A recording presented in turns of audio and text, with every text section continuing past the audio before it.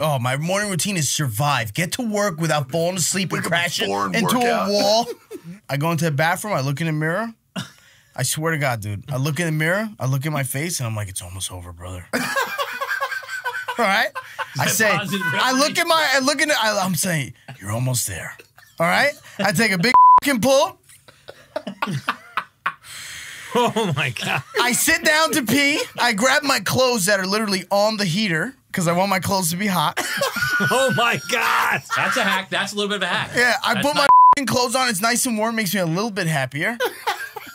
I drink a couple sips of water. I make sure I don't fucking forget anything because my mind, is, I'm I'm generally retarded at that moment in fucking time. I go to the door. I open it.